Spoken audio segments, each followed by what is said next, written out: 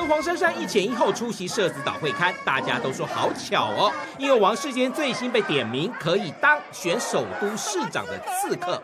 你怎么会想说跟珊珊委员一起来？他邀请你来？不是，对，因为只要为社子岛好。居然是黄珊珊主动邀请，倒是黄珊珊格外低调，不知道是不是跟主席柯文哲喊出二零二六决定民众党存废有关。委员柯主席说二零二六选不好？其实王世坚要是真的成为二零二六的刺客，第一个最紧张的应该是现任的蒋万安吧。他的确是一个说到做到。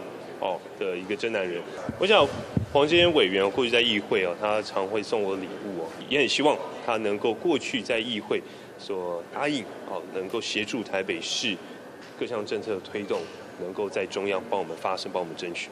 尽管满口称赞，但显然他希望的礼物绝对不是王世坚变连任对手。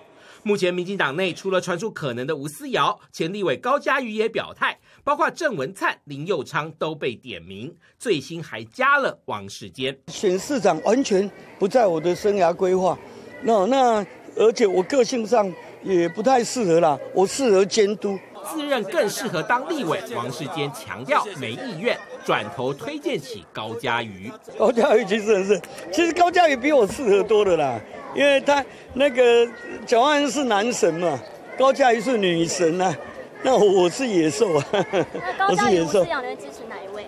诶，那到时候再看我们党是提名谁哦，我们党是提名谁？那我不能说我个人支持高嘉瑜，然后就就我现在就讲这个，我要看我们党的那个决定哦。两个女人都不得罪，还留下听党的话的弹书。王世坚谈二零二六，忙撇清，还谁也不得罪。民事新闻综合报道。